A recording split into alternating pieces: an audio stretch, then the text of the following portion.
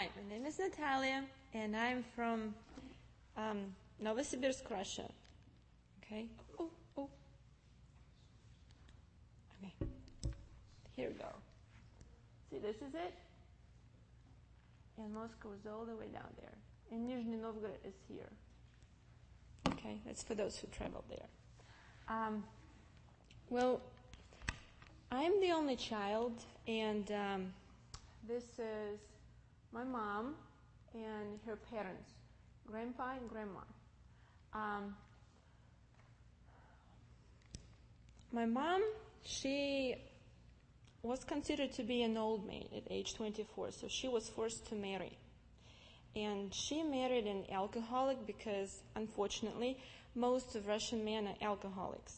Um, and, um, well, that's it.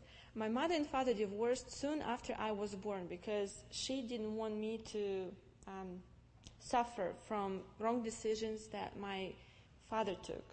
And um, my father died when I was seven. I actually saw him twice in my life, and uh, the first time I saw him when I was six, and um, he just came came over. I don't know why.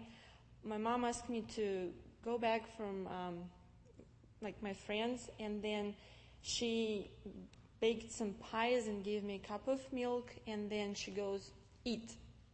So I felt very uncomfortable eating because he was staring at me and he was a stranger. I never asked my mom anything about my dad because for, for a reason I knew it will hurt her. And when this man left, uh, my mom, she told me that this is your father.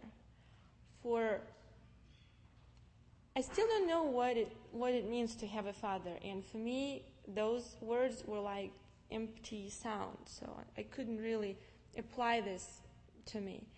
And uh, one day when I was seven, I came back from work, uh, I'm sorry, from school, and then I was doing my homework. And uh, my mom knelt down at my knees, and then she goes, Your father died.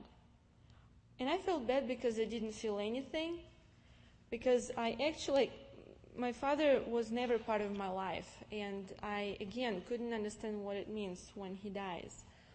But um, the point is, later when I was 14, I learned that when for this, this short for this short period of time that my parents were married, he was abusing her, and even when she got pregnant, to the point when he beat her severely, um, even when I was in her womb, and this is so horrible.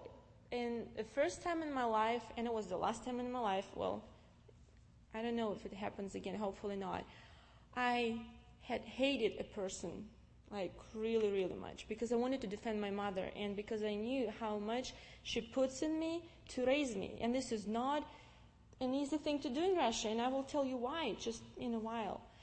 So um, by that time, he was dead, and I sort of praised God that he is dead because I, I honestly, I think I would commit, you know, a murder.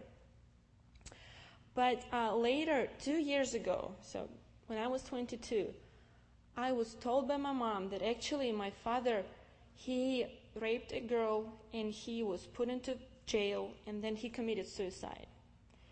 And I was very, very shocked. Um, but at the point, the reason why I'm telling you this story, when I got to know Jesus, and I will tell you more later, the cornerstone of my baptism and um, believing that God is a loving God was that I could not forgive my father, and I couldn't be. Um, you know, there's like hot, warm, and cold.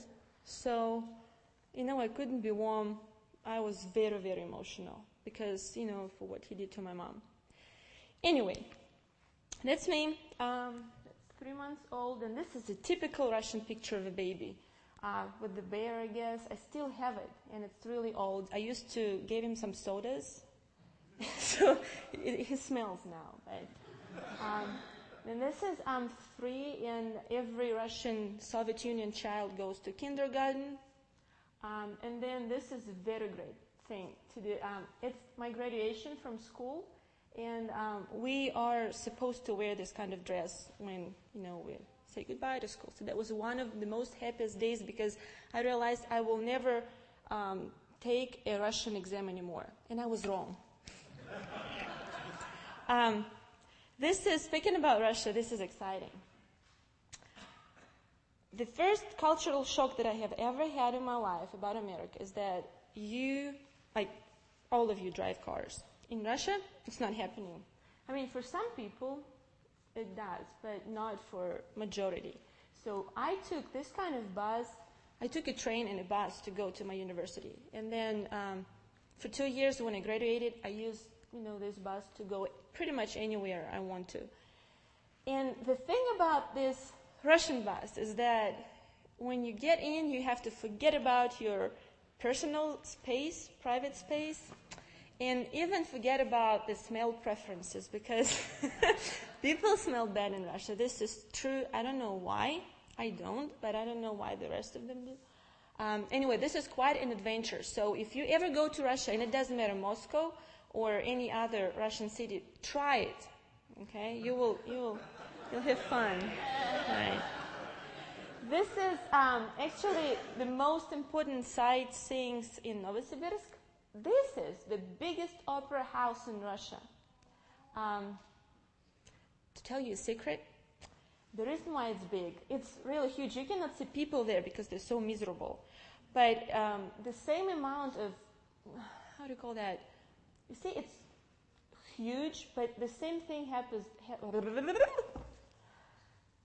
underneath the ground is pretty much the same building.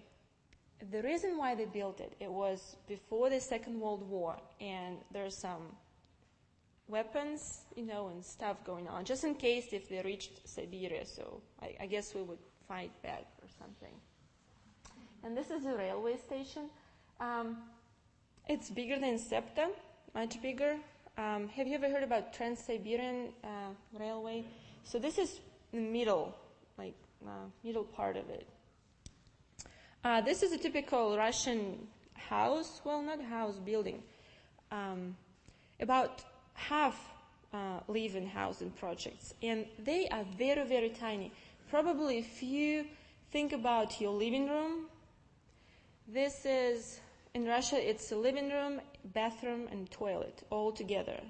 So it's like very, very small. But even those who, and it's expensive too, so not everyone can afford it. The other half lives in villages.